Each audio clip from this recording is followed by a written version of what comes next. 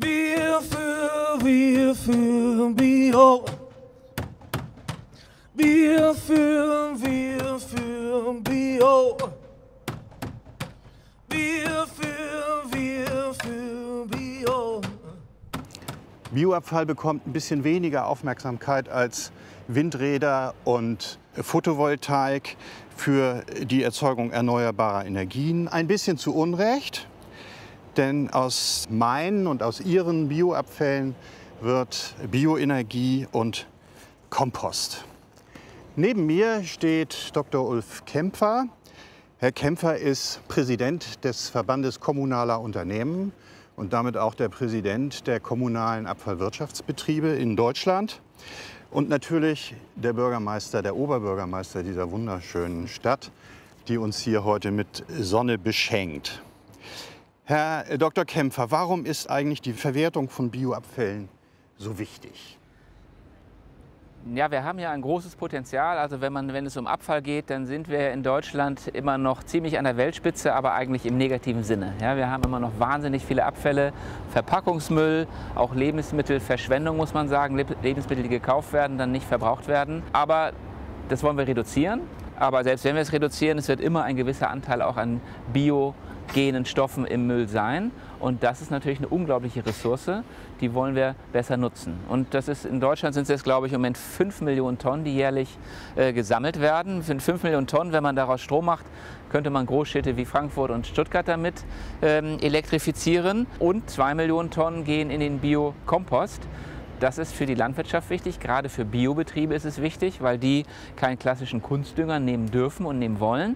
Und Kunstdünger wiederum ist extrem klimaschädlich, weil dadurch sehr viel CO2 verbraucht wird. Das heißt, wir wollen Kreislaufwirtschaft machen, wir wollen Ressourcen schonen, aber wir wollen auch Klimaschutz betreiben und deswegen äh, eine hohe Verwertungsquote von Bio, Wiederverwertung, Energiegewinnung ist für alle wichtig. Das sage ich als Kieler Oberbürgermeister. Wir sind Zero Race City.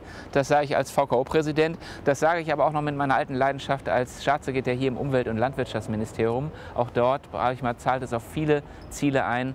Äh, und diese Aktion soll ja genau das helfen, dass wir da äh, mehr und reinere Biomüllsortimente kriegen. Ja, vielen Dank. Zum Glück haben wir in Sachen Kompost einen Experten hier. Mats Röttger ist Landwirt und hat einen Biohof in der Nähe von Lübeck.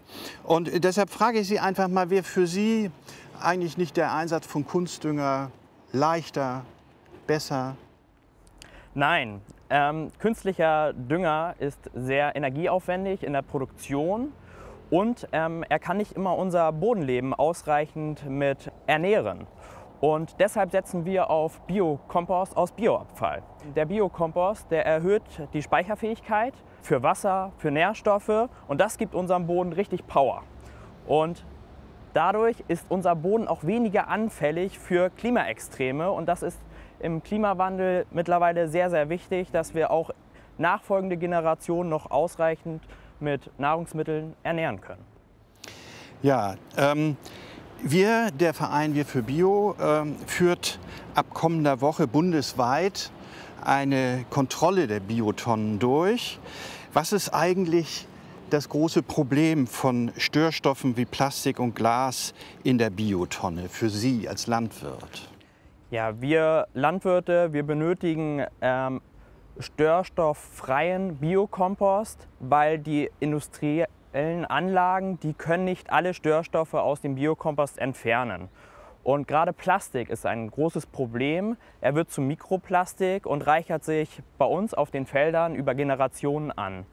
Und deshalb ist es wichtig, dass wir trennen. In die Biotonne darf kein Plastik. Unsere Bürgerinnen und Bürger trennen eigentlich schon ganz gut, aber leider noch nicht alle. Herr Dr. Kämpfer hat es erwähnt, wir haben noch im Restmüll erheblichen Anteil als Ressource zur Verfügung. Wir sehen hier fünf Plastikballen. Die Menge dieser, dieses Plastiks in der Größenordnung von 200.000 Ballen befinden sich im Bioabfall-Input in unsere industriellen Vergärungsanlagen und Kompostierungsanlagen und müssen dort technisch versucht werden, wieder rauszuholen. Deshalb wollen wir vermeiden, dass sie überhaupt erst reinkommen und starten mit unseren Mitgliedern von Wir für Bio eine bundesweite Kontrollaktion. Fehlbefüllte Biotonnen bleiben ab Montag in vielen Regionen stehen. Herr Kämpfer, Sie unterstützen diese Aktion als, äh, auch als Schirmherr und als VKU-Präsident. Macht man sich nicht eigentlich bei den Bürgerinnen und Bürgern mit so einer Kontrollaktion unbeliebt? Vielleicht ja bei einigen, äh, aber ich glaube, es ist ganz wichtig, sehr aufzuklären, zu informieren und ich glaube, bei den meisten ist ja nicht böser Wille dabei, äh, sondern vielleicht manchmal eine gewisse Bequemlichkeit, manchmal auch eine Unkenntnis. Wir gelten ja auch bei, als Mülltrennungs-Champions weltweit, aber wir haben halt in beide Richtungen ein Problem. Es landen noch viel zu viele Biostoffe im normalen Restmüll in der grauen Tonne. Da verschwenden wir eine Ressource. Mhm. Aber noch fataler ist es eigentlich, wenn dann eben Plastik äh, und nicht Bio im, in der Biotonne landet, weil da reichen ja schon ganz wenige Prozent aus, dass ich das gar nicht mehr verwerten kann. Und gerade wenn ich, sag ich mal, beim Biobauern kaufen möchte, die Vorstellung, da ist ganz viel Plastik auf den Feldern, das ist jetzt nicht das, äh, glaube ich, was jetzt für die Vermarktung äh, sinnvoll ist. Und da reichen ja schon wenige Prozent aus, äh, dass das Ganze verdorben ist. Und da müssen wir eben aufklären, aber dann eben auch mal sagen, so äh, geht es eben nicht und damit das Bewusstsein schaffen, damit wir da besser vorankommen. Denn am Ende ist das nicht nur ein Interesse von unserem Landwirt, sondern von unserer ganzen Gesellschaft, dass wir da pfleglicher und effektiver mit dem Biomüll umgehen.